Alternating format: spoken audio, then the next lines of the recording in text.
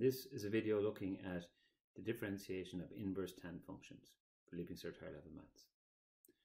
If y is equal to tan inverse 2x plus 1, find dy dx, the derivative. Tan inverse 2x plus 1 is an angle, so we're getting the derivative of an angle. There's a formula here that tells us how to do it. This rule is in page 25 of the log tables. We'd like to write the a ratio here, so put the 2x plus 1 over uh, 1 to write it as a fraction. So our a is our 1. And we're going to let x be our 2x plus 1. And then we're going to apply the chain rule to it. So if we apply the formula to the ratio as given, uh, subbing 1 in for a and 2x plus 1 in for x into the formula. And then we multiply this by the diff of the inside.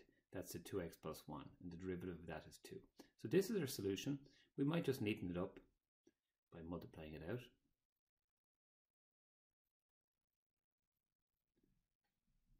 Squaring 2x plus 1. And when we write this out, we, we notice along the bottom that actually 2 divides into each part along the bottom. We have 4x squared plus 4x plus 2. So 2 is a common factor here. So we take out the common factor, we write it like this.